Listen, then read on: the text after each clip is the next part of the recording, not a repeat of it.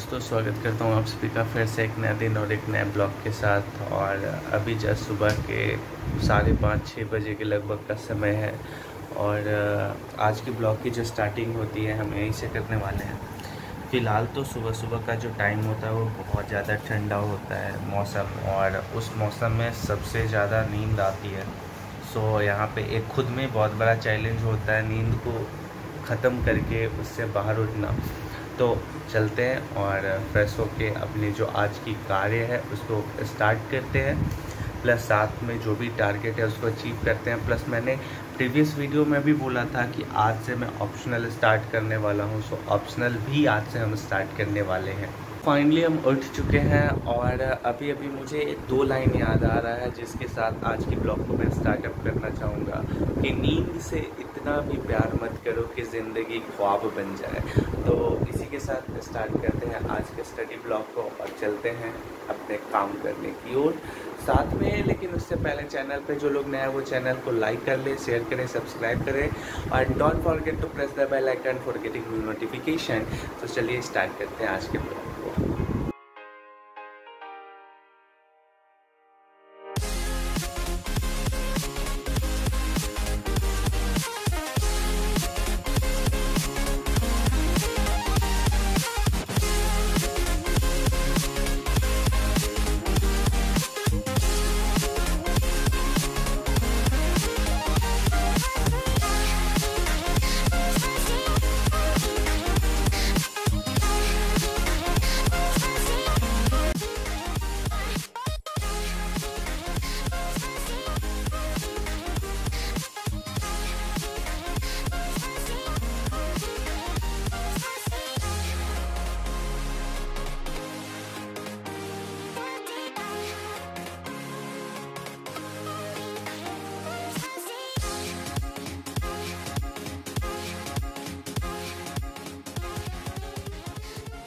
सब का महत्व ना हो अर्थ तथा शब्द के बीच प्रतिस्पर्धा ठीक है?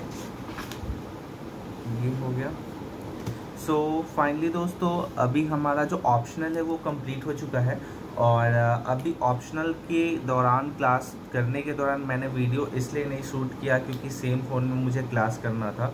सो फाइनली ऑप्शनल का आज पहला क्लास था और uh, मेरा मैं जैसा कि मैं बता दूँ पहले भी मैं बता चुका हूँ अपने चैनल के माध्यम से कि मेरा ऑप्शनल हिंदी साहित्य है जिसमें लगभग आपको 156 टू 160 वीडियोस अवेलेबल हैं और वो क्लासेस करने हैं। यूपीएससी में अदर ऑप्शनल सब्जेक्ट्स भी होते हैं जो कि आपके इंटरेस्ट के ऊपर डिपेंड करते हैं। यूपीएससी के द्वारा कुछ सब्जेक्ट्स के लिस्ट बनाए गए हैं जिसमें से आप अपने ऑप्शनल को सेलेक्ट कर सकते हो।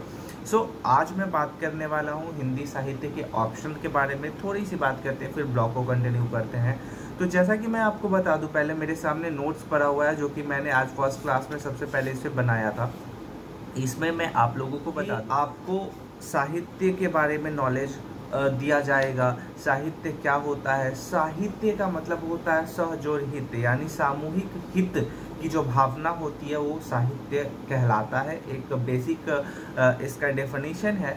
लेकिन जनरली आज के क्लास में मैंने ये भी सीखा कि साहित्य कहते किसको है? तो सामान्यतः तीन गुण अपने अंदर विद्यमान रखता हो, उसे साहित्य कहते हैं।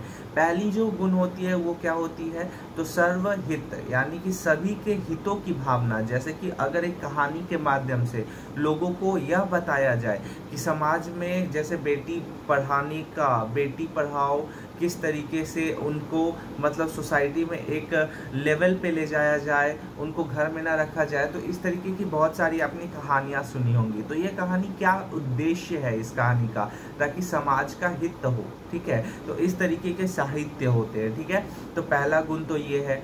दूसरा गुण क्या है इसमें? तो दूसरा गुण ये होता है कि रमणीयता। रमणीयता का अर्थ होता है सौंदर्य, ठीक है? उसका वास होता है, उसे साहित्य कहते हैं। और तीसरा होता है कि अर्थ और शब्द, दोनों में प्रतिस्पर्धा हो, आपसी प्रतिस्पर्धा हो ये तीन गुण अगर विद्यमान रहे तो उसे हम साहित्य कहते हैं। तो बेसिकली इन सब चीज़ों के बारे में आज हम लोगों ने पढ़ा। साथ में ही एक चीज़ और, आपने सुना होगा कि कहानी और कविता में अंतर क्या है? तो कहानी और कविता में बेसिकली अंदर आप मुझे कमेंट सेक्शन में बताओगे कि क्या होता है। लगभग दोस्तों, कुछ इस तरीके से हमारा हिंदी साहित्य था। तो आज का टारगेट तो कंप्लीट है। आपको मैं पीछे दिखा दूँ। देख लो आप। हमारा जुलाई का सिलेबस है। और साथ में ही पहला जो सिलेबस है वो ख़त्म हो चुका। रेस्ट अभी ये जो मैंने रखा है, ये सारी चीज़ें को कंप्लीट करना है तो चलिए चलते हैं। फ़िलहाल अभी तीन बजने वाला है और तीन बजने से पहले चलते हैं मार्केट क्योंकि मुझे थोड़ा भूख लगा है तो अभी दूध लेके आते हैं, उसके बाद चाय बनाऊँगा। और क्योंकि आज मॉर्निंग में जो था, वो मैंने कुछ बनाया नहीं था, थोड़ा सा आज फ़र्स्ट डे था रूटीन का। तो ऑन द टाइम नौ बजे के नौ बजे स्टार्टअप करना सो so, फाइनली दोस्तों मार्केट से मैगी लाने के बाद मैंने थोड़ा चाय बनाया और मैगी मैंने बनाने के बाद उसे खाया और खाने के बाद मैंने सबसे पहले सोचा कि क्यों ना पॉलिटी का जो क्वेश्चन अटैम्प्ट करना है वो मैं कर लूँ। तो उसके बाद मैं बैठ गया खाने के बाद क्वेश्चंस अटेम्प्ट करने पॉलिटी का। और जैसा कि आपने अगर मुझे प्रीवियस वीडियो में फॉलो किया होगा तो आपको पता होगा कि पॉलिटी जो है, वो मेरा ऑलरेडी कंप्लीट हो चुका था। जिसके बाद मैंने सोचा था कि अब कुछ क्वेश्चंस लगाए जाएँ उसके। और क्वेश्चन लगाने के दौरान ऐसे बहुत सारे मतलब प्रॉब्लम्स आते हैं। हो सकता है, मुझे तो आ रहे थे और हो सकता है कि आपको भी आते हों। क्योंकि जब फ़र्स्ट टाइम आपका माइंड क्वेश्चंस को लेके प्रिपेयर्ड नहीं होता वो बहुत सारे बुक पढ़ने का हैबिट हो चुका होता है दिमाग को। लेकिन जब वो क्वेश्चन आप बनाओगे तो आपको लगेगा कि यार वो तो मैंने पढ़ा था लेकिन वहाँ का क्वेश्चन कंप्लीट क्यों नहीं हो रहा? तो उस प्रॉब्लम के कारण बहुत सारा मतलब आ, समय का आप लिमिटेशन बॉन्डिंग वहाँ पे मत करना कि हाँ मुझे समय इतने लिमिटेड समय में बनाना है क्योंकि स्टेटिंग में फ्रस्ट्रेशन होता है बहुत ज़्यादा अगर क्वेश्चन कंटिन्यू गलत होने लगते हैं तो। तो ये चीज़ मेरे साथ लगभग लगभग हो रहा था। सो so, फाइनली दोस्तों अभी मैं चैप्टर वाइज जो है वो कर रहा हूँ यहाँ पे क्वेश्चंस अटैम्प्ट और जब लिटरली मैं बताता हूँ जब आपका क्वेश्चन मतलब लगता है ना कि हाँ सही जा रहा है सही जा रहा है सही जा रहा है। लेकिन लास्टली लेकिन लास्टली जब आपको रियलाइज़ होगा कि यार जो बनाया उसमें से मतलब मोस्टली गलत निकल रहा है सही निकल रहा है या फिर जो भी है सही निकलता है तब तो अंदर से काफ़ी ज़्यादा हैप्पीनेस होती है। लेकिन अगर दो तीन क्वेश्चन मतलब निगेटिव चला जाता है तो फिर थोड़ा सा फ्रस्ट्रेशन टाइप का होगा, गुस्सा आएगा थोड़ा। सो अभी स्टार्टिंग में मेरे साथ बिल्कुल यही हो रहा है। और स्टार्टिंग का अभी तक मैंने टोटल फिफ्टी क्वेश्चन अटैम्प्ट किए हैं। लगभग अभी ट्वेंटी एट क्वेश्चन और अटैम्प्ट करने हैं। और फिफ्टी क्वेश्चंस में से मोस्टली अगर मैं कहूँ तो मतलब एवरेज चल रहा है मेरा।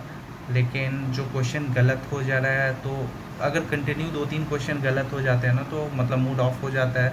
जिसके कारण जो क्वेश्चन आपको आता है वो भी गलत हो जाता है। तो इसको थोड़ा सा आप नोटिस करो क्योंकि मेरे साथ तभी यही हो रहा है। सो so, फाइनली दोस्तों मैंने जो एम किया वो कंप्लीट हो चुका है और मैंने इसका फाइनली क्रॉस सही गलत वगैरह भी निकाला था।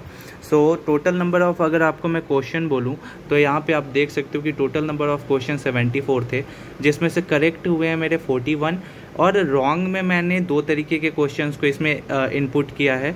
एक जो है, जिस, जो कि मेरा गलत हो गया, दूसरा मैंने जो स्किप किया था क्वेश्चन को, क्योंकि आप यहाँ से देख सकते हो कि बनाने के दौरान में बहुत सारे क्वेश्चन मैंने स्किप भी किए हैं। यहाँ पे जैसे देख लो, बहुत सारे क्वेश्चन स्किप किए हैं। तो इसको भी मैंने रॉन्ग के कंडीशन में डाल के कैलकुलेशन किया टोटल और कैलकुलेट करने के बाद लगभग जो मार्क्स आ रहे हैं मेरे, वो forty percent forty two percent के लगभग के आ रहे हैं। तो फ़िलहाल आज फ़र्स्ट डे था मेरा ये क्वेश्चन बनाने का, जो भी मैंने ये स्टार्टअप करा है। और फ़िलहाल देखते हैं अभी, और सच में थोड़ा गुस्सा आता है जब आपको मतलब प्रॉपर बनता नहीं उस तरीके से। सो so फाइनली अभी शाम हो चुका है लगभग, और सात, साढ़े सात बजने वाले हैं।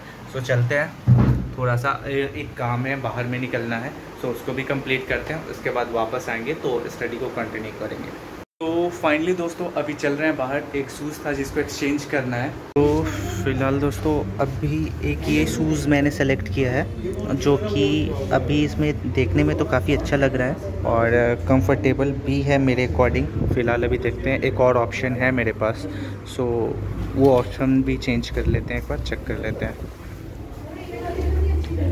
अब दूसरा शूज़ की बनी है और उसके बाद एक ये शूज़ जो है ये पसंद आ रहा है देखते हैं ये कितना कंफर्टेबल है उसके कंपैरिजन में।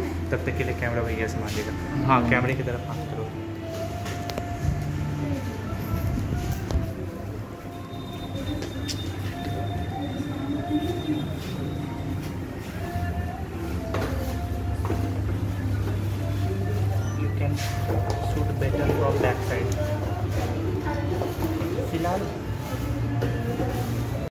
भैया का कहना है कि अभी शूज़ पहले फाइनल कर लेते हैं देन आफ्टर रिकॉर्डिंग करते हैं। सो so, सबसे पहले कर लेता हूँ फिर आपको बताता हूँ। सो so, फाइनली दोस्तों अभी जस्ट जूता ले लिया और अभी अब जा और अब जा रहे हैं रूम पे।